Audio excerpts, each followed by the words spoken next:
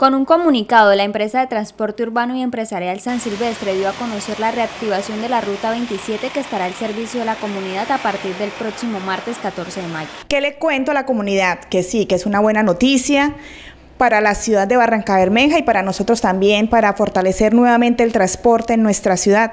Somos una empresa pionera en Barranca Bermeja, llevamos más de 52 años eh, prestando nuestros servicios tanto público como especial. Esta ruta vuelve a operar por las calles de la ciudad, especialmente por los barrios de la Comuna 4, luego de estar suspendida por la pandemia más de un año y medio.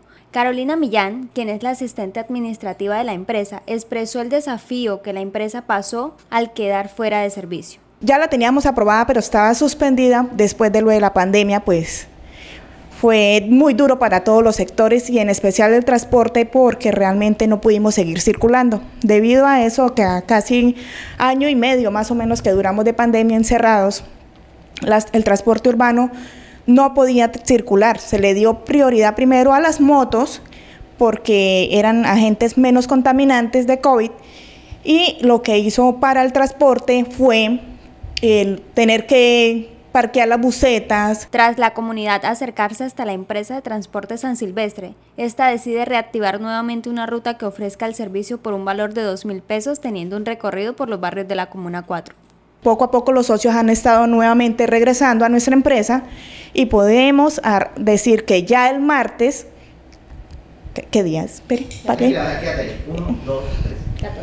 el martes 14 de mayo arrancamos nuevamente con la ruta 27 que abarca, por decir algo, de arrancamos desde acá, desde el comercio.